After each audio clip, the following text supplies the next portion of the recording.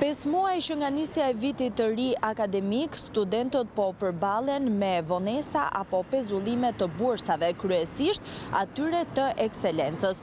Shpërndarja e tyre duket se është hasur me parregullsi të paktën përgjatë këtyre pesë muajve që nga nisja e vitit të ri akademik e deri në momentet që flasim.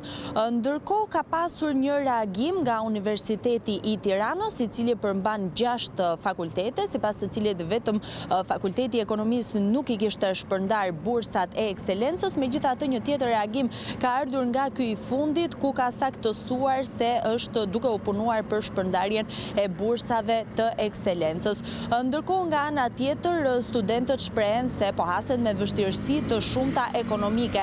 Për t'u njohur më konkretisht me këto problematika me të cilat ato hasen, unë kam kënaqësinë të zhvilloj një bisedë me Gevio Tabakun, i cili është student. Pak ditë më parë, një përfaqësi studentësh kanë mbajtur edhe një deklaratë në lidhje me këtë problematikë, megjithatë për ta trajtuar më gjerësisht, sigurisht që do të na flasë edhe Gevio Tabaku. Të përshëndes Gevio dhe faleminderit që pranove ta adresosh shqetësimin tënd në Syri Televizion. Në fakt jo vetëm tëndin, por edhe të një grupi tjetër të konsiderueshëm studentësh, të cilët e patën të pamundur fizikisht për të qenë këtu sot, por gjithsesi ti i përfaqëson më së miri. Dua të ndalem tek bursat. Fillimisht dua të më saktësosh ndoshta edhe për të gjithë ata që nuk e dinë, Me sa bursa trajtohen studentët në fakultet? Atëherë, ne si Bord Kombëtar Studentor kemi bërë, siç edhe ju keni qenë prezent, një kërkesë pranë Rektoratit të Universitetit të Tiranës, por edhe thirrje për gjithë universitetet e tjera të cilat trajtojnë, pra janë universitetet publike të cilat kanë mundësinë e dhënies së bursave, të ekselencës, por edhe bursave sociale tek studentët. Pra janë një kategori bursash, siç e thatë edhe ju. Kemi bursën e ekselencës, e cila u jepet atyre maturantëve të cilët hyjnë në universitet me notën mesatare nëntë e sipër dhe të cilët trajtohen pra me këtë bursë, e cila u ofron atyre për çdo muaj të vitit të tyre të studimit nga njëqind mijë lekë të vjetra, dhjetë mijë lekë të reja. Më pas janë edhe bursat sociale, siç mund të jetë bursa me për ndihmën ekonomike, bursat e tjera për për familjet, për fëmijët të cilët vijnë nga familje me një prind apo apo kategori të tjera. Dhe padyshim ne kemi dashur që të reagojmë sepse janë bërë tashmë 5 muaj ku studentët nuk kanë marrë bursën e ekselencës. Siç e thatë edhe ju, tek Universiteti i Tiranës janë marrë për disa fakultete bursat, por janë marrë deri në muajin dhjetor. dhe kemi marrë një përgjigje pra në momentin që bëmë kërkesën, kemi marrë një përgjigje nga rektorati, ku na saktësohet, rektorati i Universitetit të Tiranës, ku na saktësohet se janë shpërndarë bursat për të gjitha fakultetet, përveç fakultetit të ekonomisë, por deri në muajin dhjetor. Sipas tyre, do të bëhej disbursimi i fondeve pra i bursave çdo muaj në kohën e duhur, por ne jemi pikërisht në shkurt, fund shkurti, fillim marsi dhe ende nuk është disbursuar bursa për muajin janar. Kështu që hasemi përsëri me parregullsi, hasemi përsëri me premtime ose me deklarata të cilat në fund të ditës janë krejtësisht boshe, sepse mund ta shohim vetë që bursat nuk kanë dalë. Dhe për më tepër nuk është problemi vetëm tek Universiteti i Tiranës, paçka se është universiteti më i madh në vend, i cili ka numrin më të lartë të studentëve. Pikërisht, do doja të ndalesha këtu sepse pavarësisht se janë gjashtë fakultete, numri më i madh në fakt janë pikërisht tek Universiteti i Tiranës. Ka problematika dhe me universitetet e tjera? Po pikërisht, problematika në fakt është me dy universitetet e tjera të cilat janë renditen sipas numrit të studentëve të dytët dhe të tretët në Shqipëri, pra ne këto universitete kemi ndjekur duke qenë se kanë numrin më të madh të studentëve, është Universiteti Politeknik i Tiranës me të gjithë fakultetet e tij dhe Universiteti i Mjekësisë i Tiranës me të gjitha fakultetet e tij, ku në këto dy universitete, jo vetëm që nuk ka hyrë asnjë qindarkë, që prej fillimit të vitit të ri akademik për studentët, por nuk kemi asnjë lloj njoftimi, lajmërimi, përditësimi nga ana e këtyre strukturave për të mësuar se të paktën kur planifikojnë që t'i hedhin këto bursa. Dhe ne pikërisht, duke marrë shkas nga kjo, do përgatisim edhe një kërkesë drejtuar këtyre dy universiteteve, në mënyrë që ne të marrim një përgjigje se kur planifikojnë që ata t'i disbursojnë këto fonde dhe nga ana tjetër, T'u kërkojmë që t'i disbursojnë sa më parë të jetë e mundur. Po futemi në muajin e pestë që s'kan që këta studentë nuk kanë asnjë qindarkë në llogaritë e tyre, është e turpshme. Dhe përveç kësaj, kur vjen një student në qytetin e Tiranës, jo të gjithë studentët kanë mundësi ekonomike. Pra duhet të jemi koshientë për këtë gjë.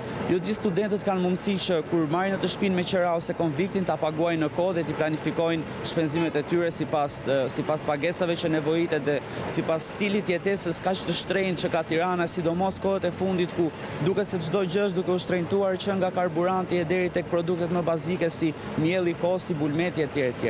Kështu që patjetër që ky suport shumë modest, janë dhjetë mijë lekë të reja, të cilat në fund të ditës në Tiranë ne e dimë shumë mirë që ikin brenda pak ditësh me me gjithë ato shpenzime që janë këtu, ama të paktën të paktën ata mund të heqin qeranë me ato lekë se jetojnë jetojnë bashkarisht me tre katër studentë të tjerë dhe heqin qeranë me ato lekë. Dhe kur dikush fillon studimet në tetor, planifikon që shpinë me qera që ka marrë në tetor, të marri lekët e bursës, ta paguajë qeranë, të vazhdojë muajt e tjerë dhe t'i marri lekët e bursës çdo muaj në kohë. Pikërisht për këtë arsye duhet të jetë kjo bursë, që t'i ndihmojë studentët që ato shpenzime shumë të mëdha që ka Tirana, një pjesë tepër të vogël, paktën shpinë me qera, t'ia heqi kjo bursë. Po këtë nuk po e shohim. Gevio, në fakt kjo problematikë sipas jush haset jo vetëm tek bursat e ekselencës, por edhe tek të tjerat është e njëjta situatë? Është e njëjta situatë me çdo bursë e cila kërkon disbursimin e fondeve. Dhe përveç kësaj, ne para se të bënim kërkesën, patjetër që kemi marrë informacionin e duhur, ne kemi bërë një kërkesë për informacion tek Ministria e Financave, sepse është organi kompetent që lëshon këto fonde, të cilat vijnë në formë granti nga Ministria e Financave, shpërndahen tek universitetet. Na janë dërguar shkresat dhe na është konfirmuar që bursa, që fondet pra janë dërguar të gjithë universiteteve në vend, pra universiteteve publike. Qoftë Universiteti Fan Noli në Korçë, qoftë Universiteti i Gjirokastrës, qoftë Universiteti Politeknik.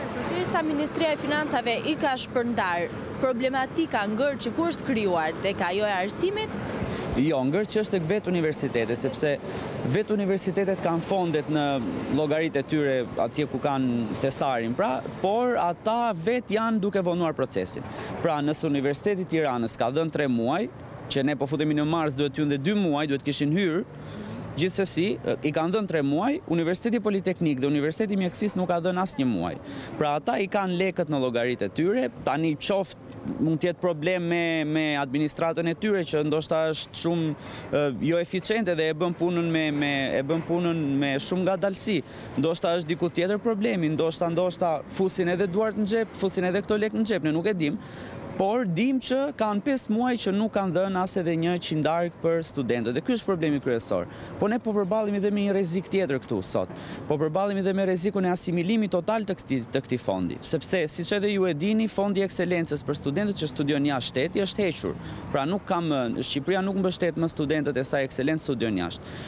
Ndërkohë, po përballemi dhe me asimilimin e këtij fondi. Pra fondit të ekselencës për studentët që studiojnë brenda vendit. Shumë e rëndësishme në fakt do doja të ndalesha dhe te kjo, pavarësisht se ka studentë ekselentë me të cilët për hir të së vërtetës duhet të krenohemi se studiojnë në universitetet më të mira jashtë vendit, qeveria vendos për heqjen e këtij fondi për t'i trajtuar këta studentë. Kjo për faktin se kryeministri në fakt në një deklaratë pak ditë më parë ka bërë me dije se do të hiqet për shkak se ata studentë kanë një farë detyrimi që të rikthehen sërish në vendin e tyre. E shihni ju të drejtë këtë heqjen e fondit për studentët që studiojnë jashtë dhe një farë detyrimi për t'u kthyer sërish në vend? Shiko, fondi është shumë i rëndësishëm dhe patjetër që nuk duhet hequr, por problemi nuk çalon këtu situata. Ata nuk rikthehen, ka një arsye pse nuk rikthehen. Si të rikthehet ai kur ai nuk ka si mundësi këtu.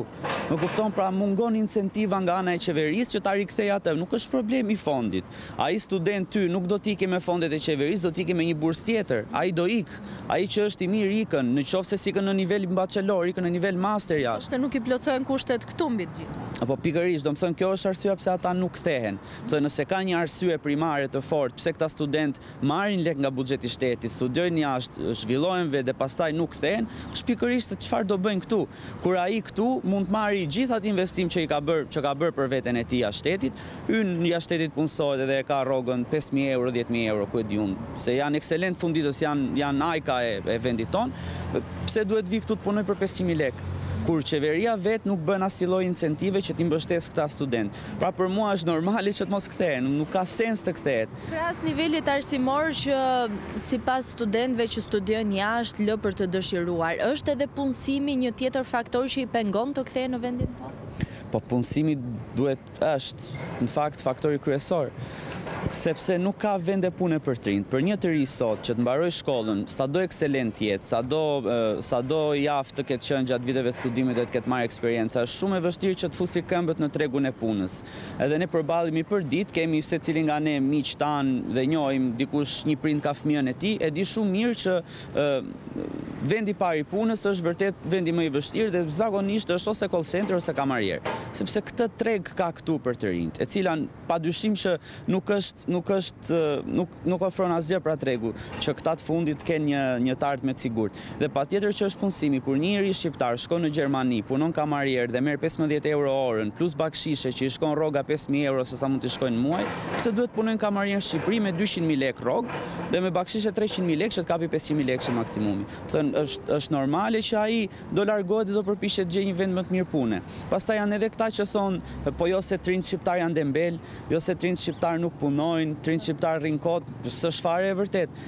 Se kemi raste plot, jam i bindur që edhe ti njeh një mik tëndin, i cili ka shkuar në Gjermani, në Austri, në vende të Bashkimit Evropian pak rëndësi ka dhe ka mundur të punësohet brenda një afati të shkurtër kohor.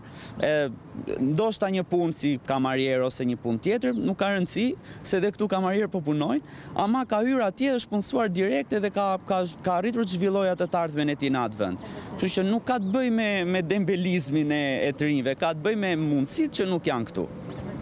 Gevio, për të rikthyer dhe njëherë bursave, në fakt besoj se ju patjetër jeni interesuar pranë rektorateve, pranë universiteteve përkatëse. Çfarë përgjigje keni marrë nga ana e tyre? Pra, përgjigja e vetme që ne kemi marrë dhe jo në rrugë zyrtare, domethënë, në sensin që ata të na kthejnë një përgjigje direkte te letra që çuam, po ata bën një deklaratë publike, të cilën unë dhe këtë e quaj jo korrekte se minimalisht duhet na kishin komunikuar neve që çuam kërkesën. Në fakt ajo deklaratë u bë vetëm për mediat, pra vetëm mediat ishin ato të informuara. Ndërkohë ju drejt për drejt nuk u informuat? Jo, nuk jemi informuar ende drejt për drejt dhe këtë jam duke thënë, pra që ajo deklaratë ishte një Nuk mund ta quash deklaratë zyrtare, mund ta quash deklaratë për mediat, siç e thatë ju, dhe jo s'kemi marrë përgjigje. Ndërkohë, ne planifikojmë këto ditë, domethënë sot nesër, planifikojmë që dërgojmë kërkesë dhe tek Universiteti Politeknik dhe tek Universiteti i Mjekësisë. Çfarë do të përmbajë kjo kërkesë? Kërkesa do të përmbajë pyetjen se kur planifikojnë këta të disbursojnë fondet dhe një datë që ne do u lëmë atyre si limit për të bërë pra kalimin e këtyre fondeve.